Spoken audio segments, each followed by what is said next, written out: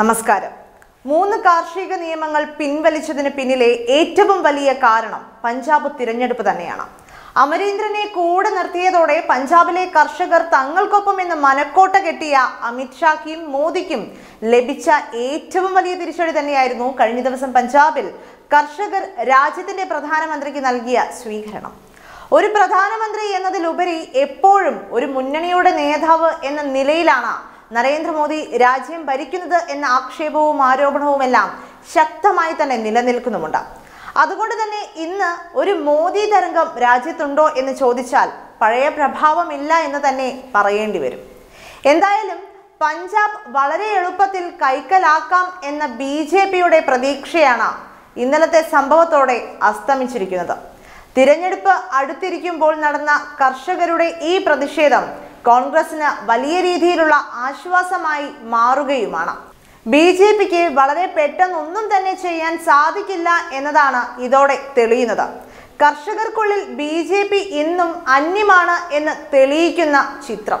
എന്തായാലും പ്രധാനമന്ത്രി നരേന്ദ്രമോദിയുടെ സന്ദർശനത്തിനിടെ ഉണ്ടായ സുരക്ഷാ വീഴ്ചയിൽ പഞ്ചാബ് സർക്കാർ ഇന്ന് കേന്ദ്രത്തിന് റിപ്പോർട്ട് നൽകിയേക്കും എന്നാണ് അറിയാൻ സാധിക്കുന്നത്. കർഷകരുടെ പ്രതിഷേധം കാരണം പ്രധാനമന്ത്രിയുടെ വാഹനം പതിനഞ്ച് മിനിറ്റിലധികം വഴിയിൽ കിടന്ന സംഭവത്തിൽ ആഭ്യന്തര മന്ത്രാലയം സംസ്ഥാനത്തോട് റിപ്പോർട്ട് തേടിയിട്ടുണ്ട്. സുരക്ഷാ വീഴ്ച ഇല്ലെന്നാണ് മുഖ്യമന്ത്രി ചരൺജിത് സിംഗ് ചന്നി വ്യക്തമാക്കിയിരിക്കുന്നത്. പ്രധാനമന്ത്രിയുടെ യാത്ര റോഡ് മാർഗമാക്കാൻ പെട്ടെന്ന് തീരുമാനമെടുത്തു എന്നതാണ് സംസ്ഥാനത്തിന്റെ വിശദീകരണം. എസ് പി ജിയും സംഭവത്തിൽ റിപ്പോർട്ട് തയ്യാറാക്കുന്നുണ്ട്. സംഭവത്തിന്റെ പേരിൽ ബി ജെ പിക്കും കോൺഗ്രസിനുമിടയിൽ രാഷ്ട്രീയ ആരോപണ പ്രത്യാരോപണം തുടരുകയാണ്. പ്രതിഷേധക്കാർ കുത്തിയിരുന്നതിനെ തുടർന്ന് പ്രധാനമന്ത്രിയുടെ വാഹനവ്യൂഹം തടയുകയായിരുന്നു. പ്രതിഷേധമുണ്ടാക്കാൻ കുറഞ്ഞത് പത്ത് മുതൽ ഇരുപത് മിനിറ്റ് വരെ എടുക്കും. പ്രധാനമന്ത്രിയെ ഇക്കാര്യം അറിയിക്കുകയും മറ്റൊരു വഴിയിലൂടെ പോകാമെന്ന് അറിയിക്കുകയും ചെയ്തു. പക്ഷേ അദ്ദേഹം തിരിച്ചു പോകാനാണ് തീരുമാനിച്ചത്. ഒരു തരത്തിലുള്ള സുരക്ഷാ വീഴ്ചയും ഉണ്ടായിട്ടില്ലെന്നും ആക്രമണത്തിന്റെ സാഹചര്യം ഉണ്ടായിട്ടില്ലെന്നും മുഖ്യമന്ത്രി വാർത്താ സമ്മേളനത്തിൽ അറിയിക്കുകയും ചെയ്തു.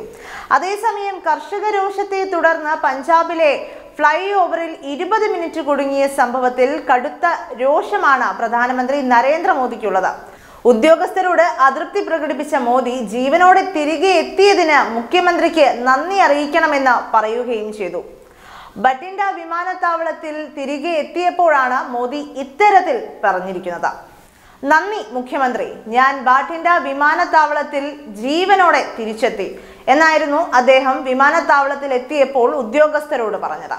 പ്രധാനമന്ത്രിയുടെ വാഹനവ്യൂഹം തടഞ്ഞത് ബി കെ യു ക്രാന്തികാരി എന്ന സംഘടന ആണെന്ന് വ്യക്തമായിരിക്കുകയാണ്.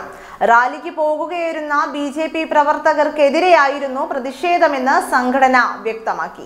പ്രധാനമന്ത്രി റോഡ് മാർഗം വരുന്നത് അറിഞ്ഞത് അവസാന നിമിഷമാണെന്നും സംഘടന പറയുന്നുണ്ടെങ്കിലും അതിലെ സത്യാവസ്ഥ എത്രമാത്രമാണെന്ന് ഇനിയും നോക്കേണ്ടിയിരിക്കുന്നു.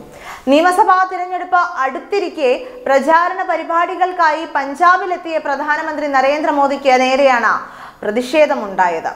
ഉസൈൻ വാലയിലെ ദേശീയ രക്തസാക്ഷി സ്മാരകത്തിലേക്കുള്ള യാത്രക്കിടെയാണ് പ്രതിഷേധമുണ്ടായത്. ഇതോടെ പ്രധാനമന്ത്രിയുടെ വാഹനവ്യൂഹം ഇരുപത് മിനിറ്റ് വരെ ഒരു ഫ്ലൈ ഓവറിൽ കുടുങ്ങി. വൻ സുരക്ഷാ വീഴ്ചയാണ് പഞ്ചാബ് സർക്കാരിന്റെ ഭാഗത്തു നിന്നുണ്ടായതെന്നാണ് കേന്ദ്ര ആഭ്യന്തര മന്ത്രാലയം ആരോപണം ചെയ്തിരിക്കുന്നത്. പഞ്ചാബ് സർക്കാർ മനഃപൂർവം പ്രധാനമന്ത്രിയുടെ ഒരു പരിപാടി അലങ്കോലമാക്കാൻ ശ്രമിച്ചെന്നാണ് ബി ദേശീയ അധ്യക്ഷൻ ജെ പി നദ്ദയുടെ ആരോപണം.